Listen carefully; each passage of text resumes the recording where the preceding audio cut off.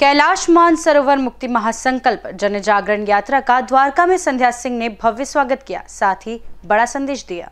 भारत तिब्बत समन्वय संघ द्वारा 19 मई से गोरखपुर के गोरक्षनाथ पीठ से कैलाश मानसरोवर मुक्ति महासंकल्प जन जागरण यात्रा शुरू होकर उत्तर प्रदेश के संत कबीर नगर बस्ती अयोध्या, बाराबंकी, लखनऊ, उन्नाव, कानपुर, आगरा, मथुरा, वृंदावन, कोसीकला, गुरुग्राम होते हुए तेईस मई को दिल्ली के द्वारका पहुँचे। दिल्ली के द्वारका में यात्रा संयोजक दिल्ली प्रांत, रविकांत शर्मा, प्रांत अध्यक्ष प्रेमिला मलिक, राष्ट्रीय महामंत्री संध्या सिंह, पारुल गुप्ता और दिल्ली के सभी पदाधिकारियों द्वारा सभी जन जागरण यात्रियों का भव्य स्वागत किया गया। द्वारका सेक्टर 21 में जन जागरण यात्रियों का फूलों से संगठन का पटका उड़ाकर कर भव्य स्वागत किया गया। वही उत्तर प्रदेश भवन में जन जागरण यात्रियों के स्वागत की व्यवस्था एवं जलपान भी रखा गया। इसके बाद महिला मंडली द्वारा सिद्धि विनायक मंदिर में कीर्तन भजन एवं जन जागरण यात्रियों एवं उपस्थित समस्त भक्तों का तिलक किया गया। वही द्वारका सेक्टर बारह के सिद्धि विनायक मंदिर में शिव जी पर जलाभिषेक एवं पूजा और महासंकल्प किया गया। जन जागरण यात्रियों का सम्मान समारोह दिल्ली प्रांत के सदस्यों द्वारा किया गया। उत्तर प्रदेश भवन में ही जन जागरण यात्रियों के भोजन एवं विश्राम की व्यवस्था की गई।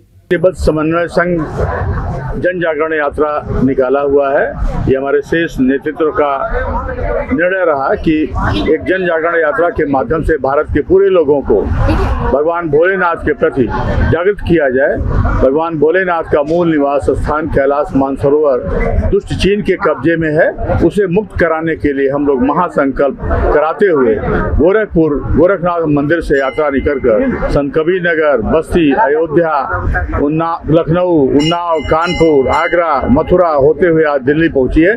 फिर यह पुनः यात्रा गजप्रस्थ मेरठ सहारनपुर मुजफ्फरपुर देहरादून होते हुए हरिद्वार में समाप्त होगी। तिब्बत समन्वय संघ द्वारा एक बहुत ही अच्छी यात्रा जो हमारी गोरखपुर से शुरू होके और दिल्ली प्रांत में पहुँची है आज हमने उनका बहुत बहुत आभार व्यक्त किया है।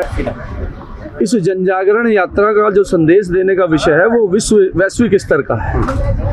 चीन ने जिस तरीके से तिब्बत पर अधिकार कब्जा कर रखा है और न सिर्फ़ अधिकार कब्जा कर रखा है, सनातनी जितने भी भाई बहन हैं भारत में, उन सबके ऊपर 21वीं सदी का आधुनिक जजिया टैक्स लगाने का काम चीन कर रहा है। इस चीन के इस कुत्सित प्रयास के विरोध में सनातनियों को जनजागृत करने के लिए ये यात्रा है, ये सिर्फ़ लोगों को जागरूक करने के लिए कि हमारा हमारा जो मेन मोटिव है, कैलाश मानसरोवर की मुक्ति, उसके लिए लोगों तक कैसे पहुँचा जाए, इसके लिए हमारे जो राष्ट्रीय कार्यकारिणी के लोग हैं, उन्होंने ये यात्रा निकाली है और हम सब लोग उन सब मिलके ये यात्रा को हम बना रहे हैं कि चलो ये यात्रा लोगों तक, किसी भी तरह से लोगों को ये पता चल पाए कि हमारे कैलाश मानसरोवर, हमारे भोलेनाथ जी का मूल स्थान कैलाश पर्वत पर है और वो चीन के कब्जे में तो हमें किस तरह से चीन को कमज़ोर करना है तो ये लोगों तक ये बात पहुंचानी है। एनबीसी न्यूज़ के लिए दिल्ली से ब्रजेश कुमार की रिपोर्ट।